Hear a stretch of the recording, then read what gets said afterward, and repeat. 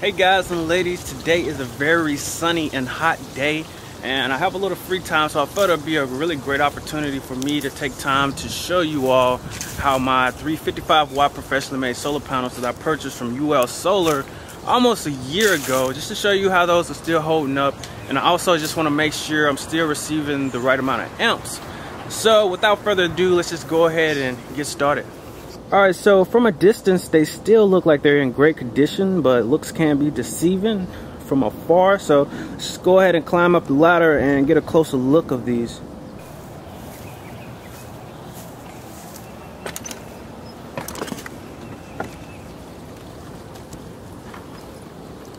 All right, so up close, as we can see, they still look like they're in fairly good condition.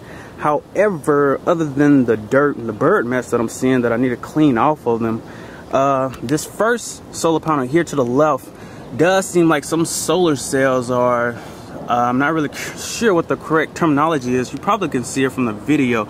It looks like it, some of it is burnt out a little bit if I can just zoom in here.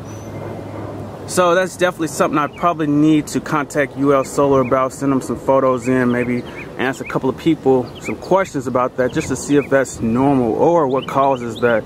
So that solar panel may be going back. we don't know yet. So in a way, everything else seems to be uh, holding up fairly well, especially the silicon that I put down here. And yeah, I probably will be producing a video later uh, showing you how to clean these solar panels and in a way, uh, as I said before, looks can be deceiving. So let's go inside just to see if I am still getting the correct amperage. Should be getting around 9.3 amps on average. So I picked the right time of the day to do this. Definitely needed to be direct sunlight on these solar panels. So let's go ahead and go inside.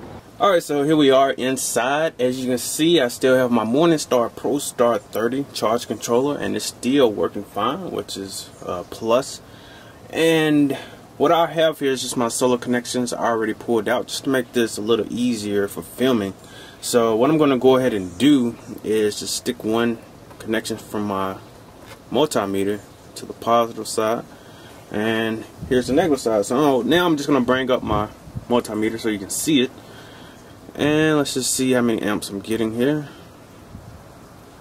So right now it's off. Um, what I've found from uh, doing this test so far, because this multimeter can only read up to 10 amps, is uh, I've been getting more than 10 amps. So that's a good thing. Like I said, I should be getting uh, 9.3 amps on average. It's a lot of clouds in the sky, so as you can see, the, the values are fluctuating up and down.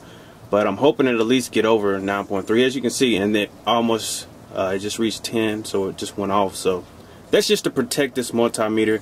So basically, uh, everything that I'm saying now is good. It's a good thing that uh, it is getting over the average. So that is telling me that the solar panels are still working as they should. I still want to get that one on the left checked out. Um, anyway, so this test has passed. It's good. It's almost been a year now. These solar panels are still outputting the right power that it should be. Alright, so as I said before, soon I will be showing you a method that I found online as far as how to clean the surface area of your solar panel as that can affect the power that you're receiving. So it has been fun. It's great that everything is working fine. Again, I am going to have to check out that left solar panel. But other than that, uh, I am still a happy customer here. So Thanks again, and I'll see you next time.